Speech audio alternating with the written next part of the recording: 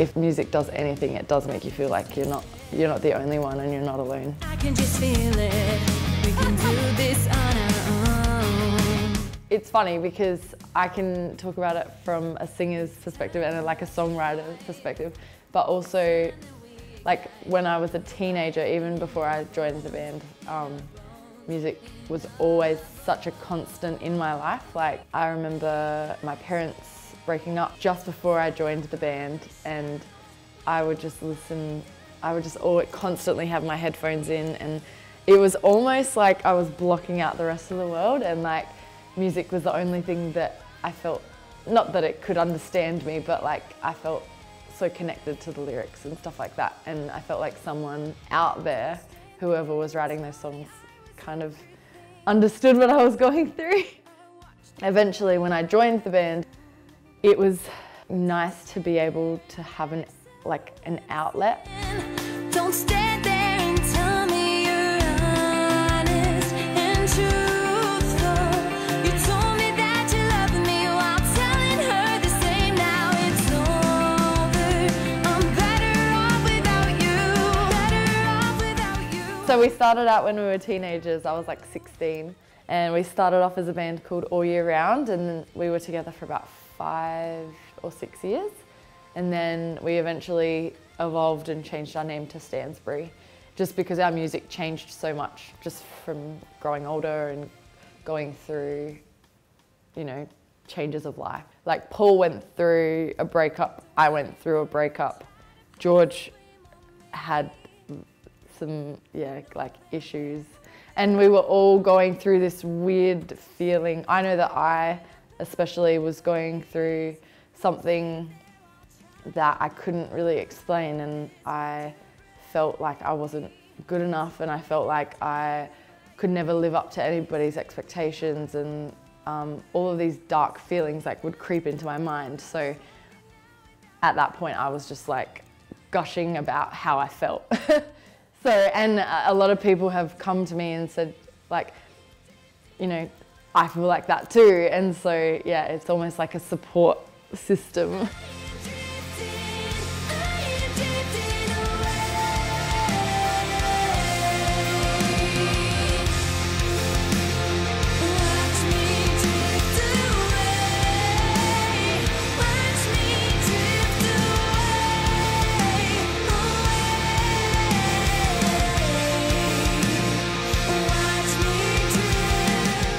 I live with Jackie. Um, she's my housemate. I'm a youth ambassador for Headspace Adelaide and Headspace Noarlunga. One of my best friends and my housemate, Ella, um, works for Headspace and she's studying psychology. I was a client first at Headspace a few years back um, in year 12. I was going through a bit of a tough time. They helped me a lot. The idea of bringing music into it was because of my um, own sort of personal attachment to music and how much it helped me. So that was where the idea came from. Over the years, a few people have um, messaged it, whether it's me or George or Paul, um, messaged us about um, how they're feeling and their mental health and like some people we've actually been quite concerned about. Someone had messaged her like who knew the band and sort of was seeking help through her and sort of, you know, asking Jackie for some advice. Jackie just sort of felt a bit out of her depth um, in sort of not knowing how to answer. Fortunately, I was home when this happened and, you know, I could sort of say what the correct sort of thing to say back was, I guess, the safest thing to say back. Headspace do such a great job and you know it's such a great service for people who are feeling that way. So the more people that know about it, the better. I put it to Jackie um, that I think we should do a collaboration and put a show together.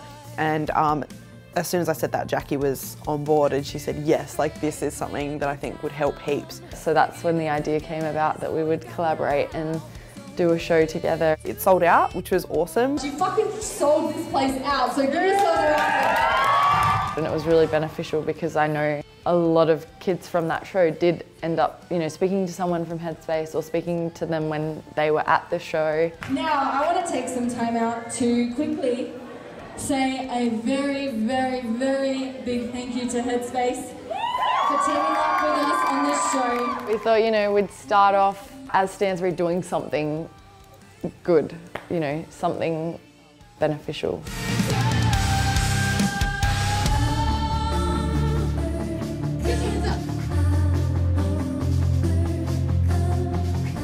Live shows are really great um, because you just know that everyone in that room has experienced their own sort of emotional ordeal of some sort.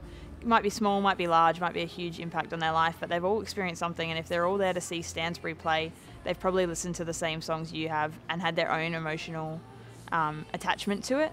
And it's great while you're there just to listen to the song. There is a huge vibe, full of emotion. You can really feel it through the whole live show. And it's just great to know that everyone has had an emotional impact from the music. I found your secret, deep disbelief from the.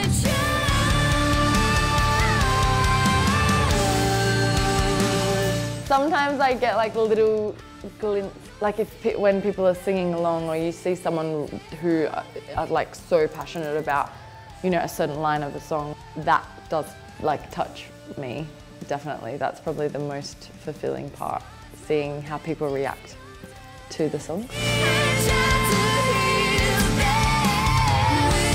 The best we can do is, you know, we like I write for my sister, or I write for Paul, or I write for you know the people around me. But if if someone outside of my like you know extended family feels something and it helps them, then that's the you know job done.